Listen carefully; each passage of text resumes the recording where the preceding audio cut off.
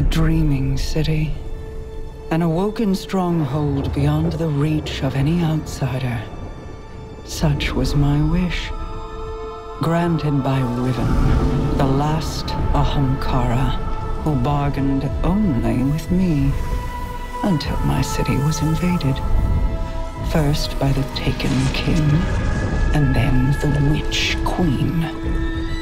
Riven struck new bargains with them, and with her dying breath, she granted a wish that laid a curse upon the Dreaming City. But Savathun is shrewd and clever. In secret, she inscribed her true wish on the wall that governs the terms of Riven's pact with me.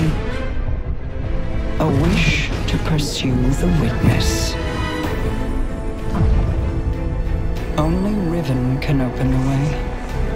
Riven, whose heart was torn out by guardians. My Techeuns assembled to conjure her spirit now.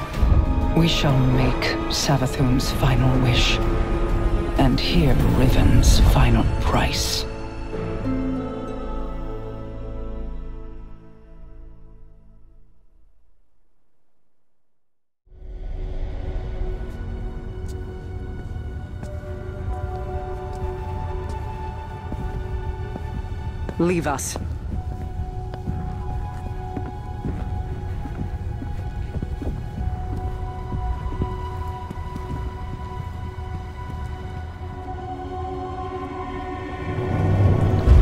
Ah,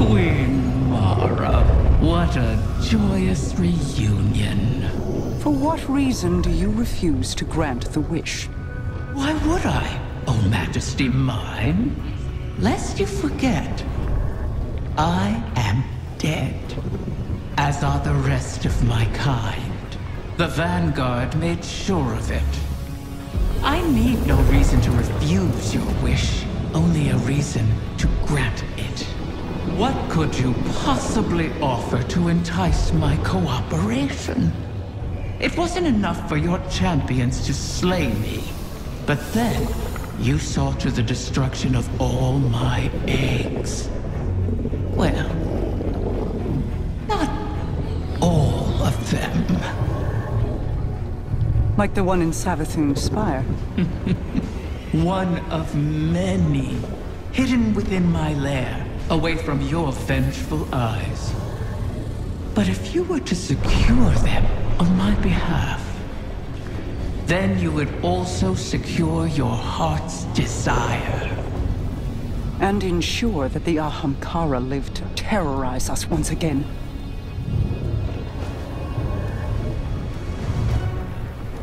Very well, Riven. We have struck a bargain.